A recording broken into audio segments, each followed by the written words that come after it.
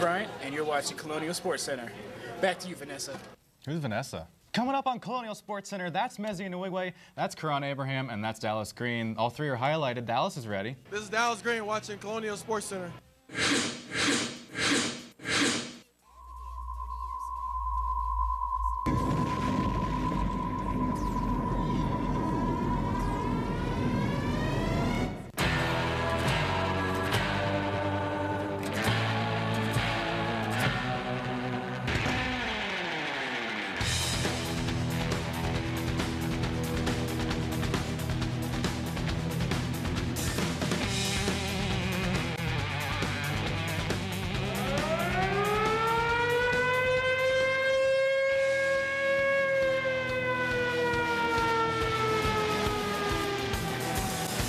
They think we're going away. They have no idea the amount of toughness in this room. You can't control what happens to you, gentlemen. You can control 100% how you responded. People are going to remember this team.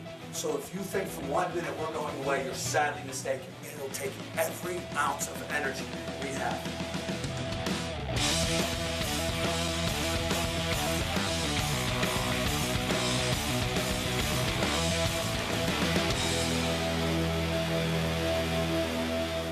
I've never been this happy to hear Knights of Cydonia.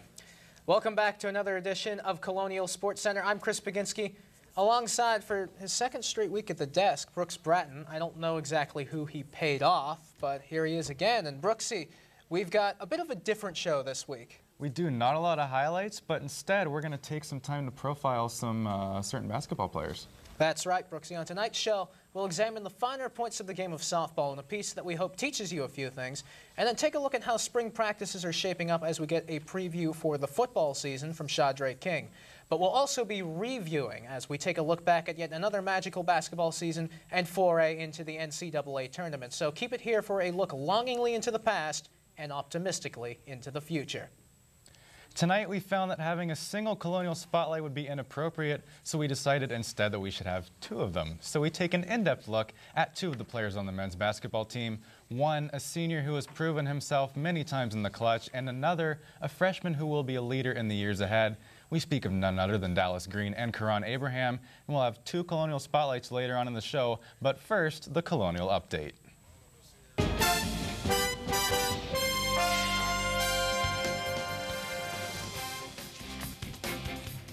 The men's lacrosse team just got back from a trip to Louisville to take on Bellarmine, which unfortunately proved to be fruitless as the Colonials fell to the hosts 18 to 15. The Colonials took a 14 to 10 lead into the fourth quarter before the Knights went on an 8-1 run. Trevor Moore had four goals and an assist, while Kiel Matisse had three goals and three assists. The Colonials' next game and start of a five-game homestand is this Saturday against Jacksonville. Faring better than their male counterparts is the women's lacrosse team, who are on a three-game winning streak. Their last two games were this past weekend, and both were wins at home as they defeated Long Island 15-8 on Friday and then sank the Seahawks 14-2 on Sunday night. The Colonials are now 4-3 on the year, and their next game is tomorrow as they hit the road to take on the Monmouth Hawks. The 2010 softball season is underway, so we thought it'd be a good idea to give some newcomers to the sport and to the team a bit of an introduction. Earlier on this week, the Colonials' Kayla Crooks taught us a thing or two about a thing or two regarding the game of softball. I'm Kayla Crooks, and I'm a junior on the Robert Morris softball team, and I'm here to tell you a few differences between baseball and softball. To start, we use a much bigger ball, and our bats are a lot lighter. Uh, our field dimensions are also a lot different than baseball, too. Our fences are a lot smaller, our base paths are a lot shorter, and our pitching distance is a lot shorter, which that enables our games move much faster than baseball does. We'll get through a seven inning game in probably about an hour and a half, where baseball takes three hours for a nine inning game. Uh, pitching is also very big are very different between baseball and softball. In baseball, they obviously throw overhand, where in softball we use the underhand windmill motion, which that allows our pitchers to throw as much as they want. They can throw every day, where in baseball they have to take two or three days off between games, uh, which that is really good for us because we only have two pitchers and we can't really take two days off between games. Our pitchers also throw in the mid 60s, where in baseball that's kind of equivalent to throwing in the mid 90s. In softball, we use what we call small ball a lot more than baseball does, which that's a lot of bunting and slapping. Uh, that enables our faster players to just lay down a bunt, lay down a soft hit, use, use their speed, and be able to get down the base paths a lot quicker. Finally, in softball, we are a lot more vocal than baseball. We, there's a lot of cheering, a lot of talking going on all the time. Baseball, they're a lot more quiet. In softball, it's just, it's part of the culture. It's what the game is. We're not trying to be annoying or anything, but it's just how the game's played. Now, because softball is a spring sport, you may not know our team as well as you know the men's basketball team, the women's basketball team, or either ice hockey team. But a few fun facts about our team include that we are the smallest team in the Northeast Conference, both in numbers and in size. Uh, 90% of our team wears custom Oakley sunglasses. We, our, our outfielders' motto is take down fences. We have unusually large winter jackets. Our uniforms are either way too small or way too big. And finally, we refer to our coach as Craig Daddy. I'm Kayla Crooks, and this has been a look into RMU softball. As the weather gets a bit warmer, the Colonials football team is taking to the field to get a little practice in before next season's opener. To get a little preview of the upcoming season, our own Chelsea Fry talked to the Colonials' Shadre King. The Colonial football team got off to a tough start last year, but won their final five games to close out the season. Now, to help us take an early look at what's coming up next season, Shadre King joins us. So, what can you tell me about the lights that are coming to the Joe Walton Stadium this coming year? Um, I actually didn't know about the lights until uh, I came back this semester. Um, Coach told us that we'd be getting lights. I'm kind of excited about the lights because um, in the fall we usually don't get a chance to, you know, practice because it gets dark early. So um, I'm kind of excited now that we get to practice at night. Be, feel like a high school, have a high school feeling, especially the games too. You know, a lot of people I think will come out more because it's at night and stuff like that. So I'm pretty happy about it. Okay, and um, what can you tell us about the incoming freshmen for next year? Do they look like players to watch, or Um, yeah, I, I I feel that they're players to watch. We got um, our coach told us we have a really good uh, freshman class coming in. Um, I'm kind of excited about it because you know last year we had a pretty good freshman class and they're actually improving and you know they're finding their own ways and finding their own space on the team. So I'm, I'm excited to see what you know what kind of work that the coaches have done this summer. So I'm excited. okay? And, and what about your returning players? Um, they're going to be a good force on your team this year. Oh yeah, for sure, definitely. Um, we got our whole O line back. We got a lot of receivers back. We got our running backs back. Um, we got Jeff back, our quarterback. So I mean, our team is real young. So I'm kind of excited of, of you know what we're going to do. We're going to be a, a force to be working with because uh, we're a young team and you know we got a lot of players and we got a lot of playmakers and we're going to have a really good season next year. And if this season is a winning season, you get a bid to the playoffs. Yes, yes. Um, usually, uh, you know, if we win the the uh, NEC, we would just get a ring and that would be it. But now, you know, if we win the NEC, we have a chance to go to the national championship and, you know, win the national championship, and that would be a really good thing for the school. Be great. Yeah, represent the school. The Colonials are currently holding spring practices and will resume their regular schedule in the fall, this time under the lights. Chelsea Fry, Colonial Sports Center. Thanks, Chelsea. And B block's coming up, Brooksy, and the B stands for basketball. That's right, Chris. We'll turn our focus to three very important pieces of the men's basketball team after the break. Now, which snacks should our viewers grab? How about some Fig Newtons? Basketball's next.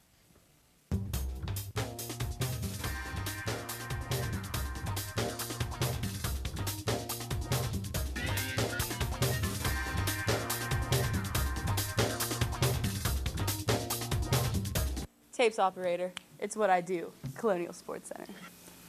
I'm Jeremy Martin, graphics operator, and you're watching Colonial Sports Center. It's, it's gone now. There's no serious take now. Chris Baginski, Eye Candy, Colonial Sports Center. I'm Justin Luteran, and I'm not good enough for Josh Elsas. How's that? I'm Josh Elsass, the producer, and you're watching Colonial Sports Center. Yeah, you have a purple shirt. well, er, No, you put that away. You put that away. confiscate that camera. That got me kicked off air. Hi, obviously, uh, Mario, uh, uh, Sports Center uh, Colonial Edition. Oi! I'm Justin Luteran, and I have facial hair. yes. So you're good luck. Another year, another fine season for the men's basketball team. Yesterday, a pep rally was held to celebrate the successful season, and we were able to grab a word with a few of the players of the back-to-back NEC men's basketball champions. 12 hours, three buses, and 164 screaming fans are what drove the Robert Morris Colonials to such a hard-fought game against second seed Villanova. Although the Colonials were defeated in the final seconds of overtime, their season was nothing to be ashamed of. Coach Rice couldn't have said it better himself when he announced that RMU won that game with spirit and pride, not the Villanova Wildcats. Yesterday, the RMU cafeteria was overflowing with students and faculty to give a big thank you for such an amazing season. The best thing that this team did uh, is uh, showed up with the mentality of uh, we're not just going to go out here and try hard tonight. Uh, the thing that what most excited people was the mentality whether it was Jay Wright who talked to me after the game or uh, the other coaches around the country, your team showed up with the mentality that they were going to win a basketball game. It was a great experience uh, to be able to stay in the game and actually lead the entire game. It's a wonderful feeling. It gives all our guys a good uh, confidence behind them. So it was a wonderful feeling. He's got it in his hands. A little pin down series, but it's the perimeter guys on the. Oh yeah! For three, and a foul. Woo! the students, their, their, their bodies are painted, they're, they're standing up. It's, uh, you know, the Villanova people were standing our hands. It, you have no idea what that did to us and, and, our, and our university. So, again, we want to appreciate 20 hours on a bus is no, no easy thing. Uh, Rice is a very intense coach, and I'm a very intense player. So when he gets intense, it like makes more makes me more intense. Right, Coach Rice, because uh, with all his uh, yelling and screaming and enthusiasm. Uh, it's just he was a, a great guy, and uh, he brought the best out of his players. So he was the main guy of his team. Again, thanks for coming out. Thanks for my 164 people and everyone else who skipped class on that Thursday. We appreciate it. Uh, it's actually a dream come true. It's a wonderful thing uh, to win and uh, be a big part of this team as a freshman and, and start and win all and win NEC Rookie of the Year, all that stuff it's a big accomplishment, uh, confidence builder for me for next year, going into next season. Uh, man, I'm very proud of him. Uh, played hard this season, played real hard. At the, in the beginning of the season, we was like, we wasn't together and stuff, but toward then we started to join together and we played hard. With the 2009-2010 season officially over, RMU is looking forward to nothing but triumph in the future.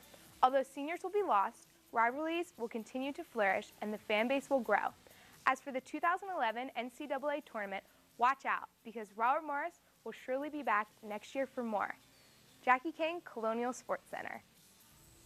Dallas Green has carved out a niche in the folklore of Bobby Mo basketball with his big game performances the past two seasons, so it was only appropriate that we return the favor for his fine play as we shine upon him the Colonial Spotlight. Yeah, I always listen to the same song over and over. It's a, it's a slow jam, uh, Babyface, but I don't know why I always listen to slow jams. I got a couple nicknames. I got D Green, Dallo, uh, and Young Low.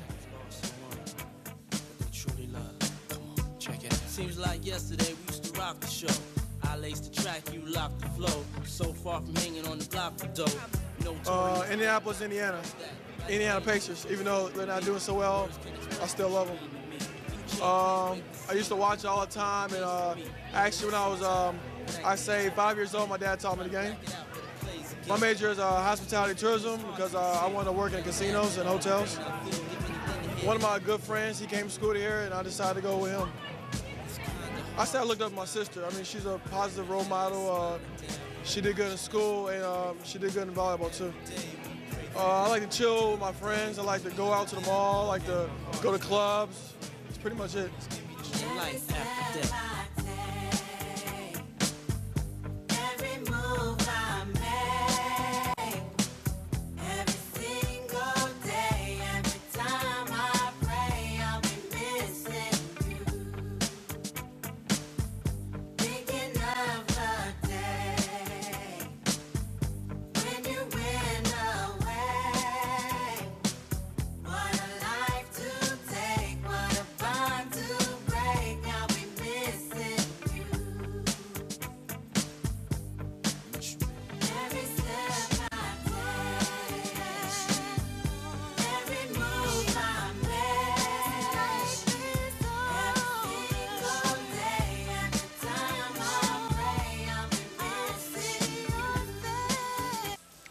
This season, a team facing adversity following the loss of one of their senior leaders had to have somebody step up.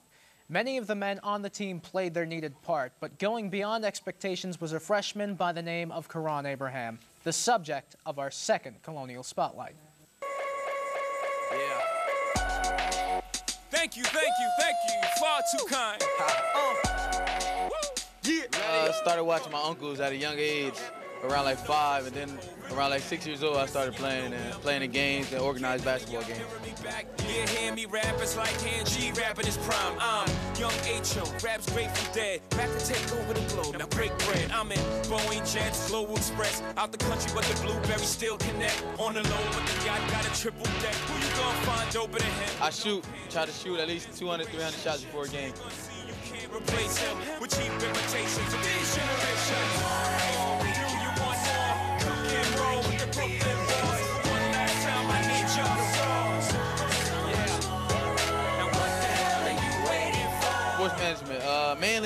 Because I, I feel I'm gonna be in the sports business somewhere, and probably uh, just because I can also open up a other business, restaurants, whatever, with a business major also. That so that's why. Me too. Look what I made for you. Knew if I paid my dues, how will they pay you? When you first come in the game, they try to play you. Then you drop a couple of hits. Look how they wait to you. From Marcy to Madison Square to the only thing that. Uh, it's a family here. Uh, I love the campus. Uh, the support here, as far as the, the students, they're, they're, they're great. And uh, the coaching staff is wonderful. And it's a winning program, so why not be a part of a winning program? And I need you to remember one thing. One thing. I came, I saw, I conquered. The record sale, sold out concerts.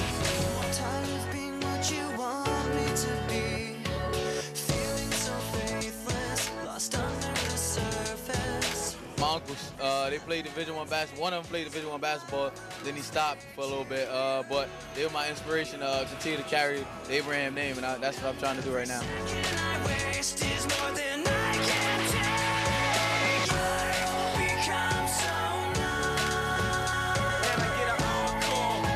I'm Karon Abraham. You're watching Colonial Sports Center.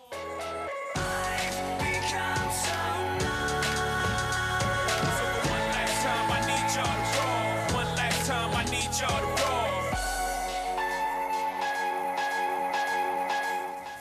we've already taken a look at two of the players on the men's basketball team. A third is with us right now in studio, but before we have a word with him, let's take a look at the best plays of senior guard, Mezie Nwigwe.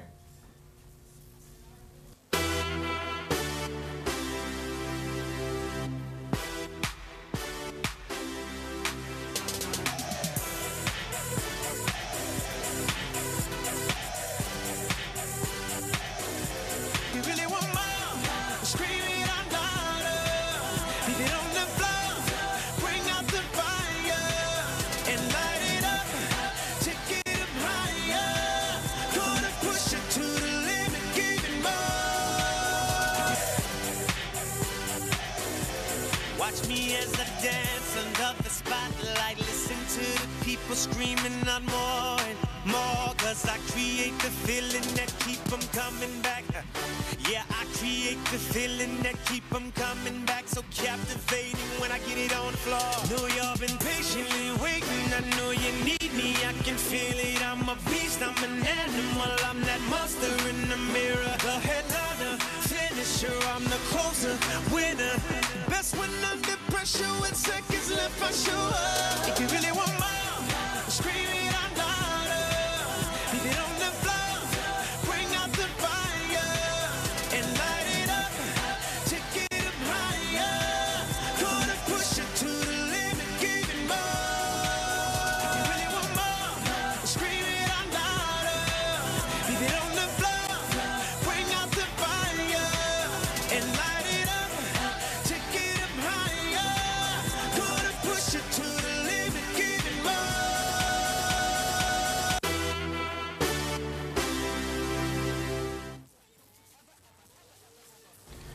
Me now in studio, the man of the hour, senior guard, Mezie Nwigwe. Mez, thanks for being here. How you doing? First off, as I said earlier, you are a senior. This was your senior season. Coming into it, did you have any personal goals for yourself that you had set? Well, as a team, we we set a goal to improve every day. That's our first. We have three goals. One is to improve every day. The second one is to win the regular season, and the third one was go, go to the NCAA tournament. So as an individual and as a senior, mine was basically to help improve my teammates, especially the younger ones, like because we have six freshmen this year. So as a senior, I just try to take be the leader and and try to get everybody better. You mentioned leading. Was there any difference, any mindset difference going into the game against Villanova this year as opposed to Michigan State last year?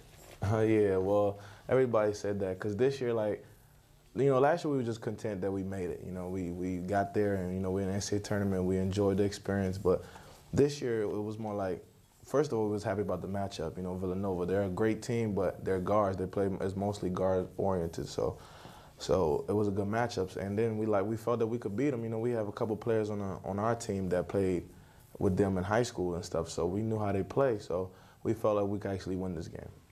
Now you mentioned a team like Villanova. Scottie Reynolds started the game on the bench, not starting. Did that help you guys out as far as your game plan going forward? Um, I mean, I, we followed the same game plan. I mean, it, it was a boost for us knowing that they didn't have their best scorer in the game at the beginning, but you know we played it the same. It didn't really matter to us. Now, going into overtime, did your mindset change at all, knowing that the stakes were a little bit higher in overtime as they were during the regular part of the game? Uh, I think in overtime, even though they got on a little on a little run, I think we stuck together. No like we stuck more together in overtime than we did during the game because we knew that they was going to punch back. We didn't know when, and they kind of punched us back at the end of the game to make it go to overtime. But you know, just going overtime, it just helped us even stay more together no matter what how the situation happened. Now, after the game, obviously you guys were disappointed, but were you also proud as a team as, of what you had just accomplished against Villanova? I couldn't be more proud of my team. Like from the managers to the coach Rice, like I, everybody, like we all stuck together throughout the whole season. You know, we started rough at certain times. We had rocky moments, but it was just a great time. I couldn't be more proud of everybody on my team. You mentioned Coach Rice. What would you say is the greatest attribute of your head coach? Man, there's so many. Like he's he's just he brings you energy. Like he yells at you so much sometimes, and you know sometimes he get on your last nerve. But you know he he gets to the point where he makes you play better. You know he he make you want to prove him wrong. You know because mm-hmm. sometimes he get on you so bad that you want to prove him wrong that that you just play at your best, and we all love that about him. Now, what do you think as far as this team moving forward? What do you guys think of the rumors that he may leave? Uh, I mean, that's the talk of the town right now. But uh, I mean, you know, this is a business. You know, you, all you could do is hope for the best. And I, I don't want him to leave because I like the, the legacy that he's building in this program. But, you know, it's a business and he got to do what he got to do to provide for his family. So, you know, we're all happy about it. Whatever, whatever decision he decides to make, we'll, we'll be behind him. Now, Mez, we do have a trivia question coming up. I asked you before the break if you knew the answer. You said you didn't. Oh. We'll, we'll take a look at the trivia question. Career steals does Mezie Nwigwe have 95 from 06 to 2010. Not bad. Also 231 career assists, 814 career points. Mez, you will be missed. Thank you for your four years of service on the Colonial roster. Great job as always. Thank you. Thank you for being here. Thank you. Coming up next, Thanks again to Mezie Nwigwe for being here, but you've got just enough time to grab some double stuffed Oreos and then come on back for double the show-stopping plays. Chris and I will take a look at the best moments of the winter sports teams here at Robert Morris, so do stay tuned. Hello, boys and girls. This is your old pal, Stinky Wizzleteats. This is a song about a whale. No! This is a song about being happy. That's right. It's the happy, happy, joy, joy song. Happy, happy, joy, joy, happy, happy, joy, joy, happy, happy, joy, joy, happy, happy, joy, joy, happy, happy, joy, joy, happy, happy, joy, joy, happy, happy, joy, joy, joy. I don't think you're happy enough. That's right. I'll teach you to be happy. I'll teach your grandmother to suck eggs. Now, boys and girls, let's try it again. Happy, happy, joy, joy, happy, happy, joy, joy, happy, happy, joy, joy, happy, happy, joy, joy, happy, happy, joy, joy, happy, happy, joy, joy, happy, happy, joy, joy, joy.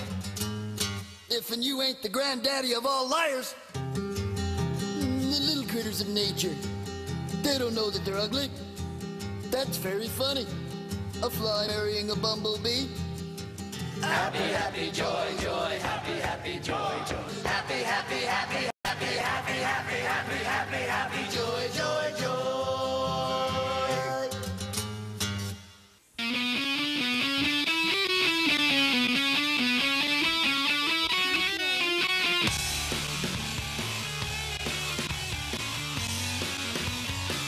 And I've never been happier to hear Plug-In Baby either. The top five moments of the winter sports season.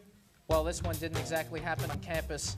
Brianne McLaughlin made 3,809 saves in her time here with the Colonials, and then she later made the Olympic hockey team for the United States and picked up a silver medal as her memento from Vancouver.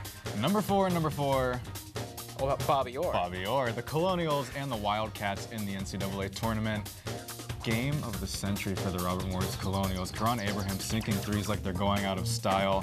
And then in overtime, Mezie Nwigwe, the star of our show tonight with the steal, gets the layup to go off the glass. It was a heartbreaker in the end for the Colonials, but no doubt one of the bright spots of the season in Robert Morris history. That steal went towards our trivia question today. It did. Number three, we go from the men's basketball team to the women's basketball team, who also had a very good season. They only had one loss all year within the NEC conference. They unfortunately did not fare quite as well in the NEC tournament, but they're a very young team, and they will certainly be back next year with a vengeance. Congrats to head coach Sal, NEC Coach of the Year. Number two, Colonials and Redhawks hockey at Mellon Arena, the final college hockey showcase in the history of the Igloo. And the Colonials knock off number one ranked at the time Miami of Ohio Redhawks. Not just once on this Friday night, but two times in the same weekend. Stefan Saltora with a goal there. Robert Morris with the sweep of Miami. Memorable way for the Mellon Arena to go out in college hockey. But this is the game of the year if you want to factor in Colonial victories, because it was RMU versus Quinnipiac in the NEC championship game, and it was similar to last year. Very close game, some controversial calls as well, but the Colonials came out on top to become the first back-to-back NEC champions since Rider in 1993 and 1994. But don't forget about other great RMU programming, such as RMU Live, broadcasting every Tuesday at 5.30. It's your campus, world, and local news headquarters right here on RMU TV Channel 98. And also, every Friday at noon, you can catch Campus Stories, an in-depth interview show hosted by Mr. Baginski, produced Ooh. by Clark Cairns, discussing many hidden topics here on campus. Later on Friday evening and Saturday as well, catch Prime Cuts Theater with Brian Spencer, Ron McKenzie, and Michael Gabriel as they talk about all the happenings in the world of movies. And over on the radio side, catch three great shows in case you haven't had enough with me. Ice Talk Tuesdays and Thursdays at 4.30 discussing all that is the NHL. Women's CSR with Ashley Friday talking Colonial Women's Sports and Colonial Sports Radio with Ernie Bernard and Chris Baginski once again with the lowdown on RMU athletics. Dude, seriously check out RMU, CSR, CSR. all the great shows that we have here, RMU Live and all that. Well, Brooksy, what do you think about this week's show? Not bad. A little bit different without the highlights, but having a student athlete, especially a star athlete in the studio, always helps things go smoothly. Yeah, and I think that it's uh, it's something that we do to help people stay interested because we don't do the same show every single week. We change things up like this, and we decided to kind of take a different approach this week. And I hope that everybody who is watching enjoyed it, appreciated it. Keep you on your toes here at CSC. Mm-hmm. And we're out. We would like just to thank all the teams and the coaches for their accessibility, as well as Marty Gillespie and the entire RMU athletic department, because without you folks, we would not be able to do what we do. So, bye bye. Good night, Brazil. Good night.